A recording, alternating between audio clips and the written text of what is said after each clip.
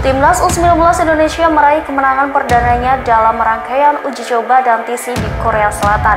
Timnas Indonesia U19 meraih kemenangan 2-1 atas Daeju University.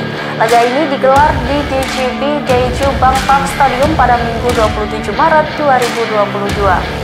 Dikutip dari tribunnews.com, gol timnas U19 Indonesia diciptakan oleh Kadek Arel Priyatna dan Ronaldo Kuate. Diketahui laga uji coba ketiga timnas U19 Indonesia PS Daeju University tidak disiarkan.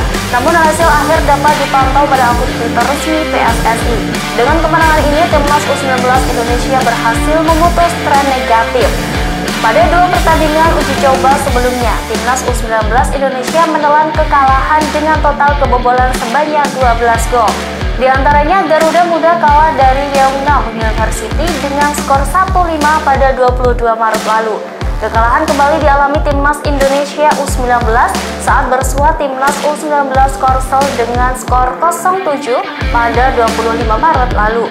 Timnas Indonesia U19 akan kembali bersua dengan Korea Selatan U19 pada Selasa 29 Maret 2022. Sementara itu, agenda uji coba sekaligus diisi Timnas U19 Indonesia di Korsel dalam rangka mempersiapkan Piala Dunia U20 pada 2023. Indonesia akan menjadi tuan rumah dalam perhelatan Piala Dunia U20 pada 2023 mendatang. Sebelumnya Piala Dunia U20 akan digelar pada 20 Mei hingga 12 Juni 2021. Akan tetapi terpaksa diundur karena pandemi COVID-19.